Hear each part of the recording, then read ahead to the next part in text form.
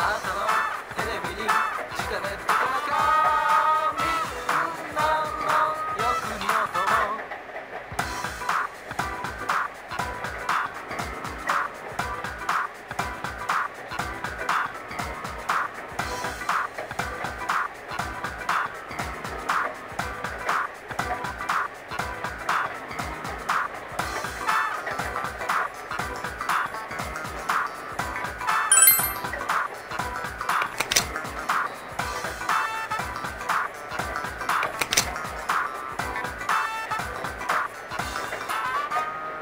I'll, I'll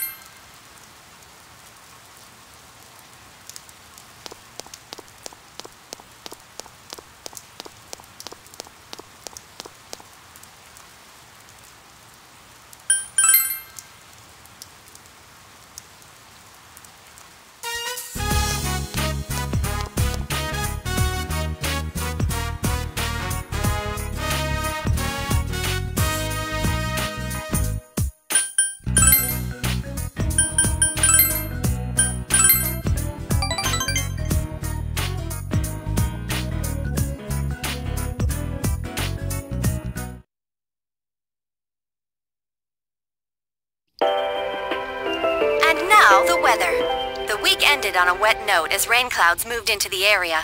As a result, a thick fog is expected to form in the Inaba region later tonight.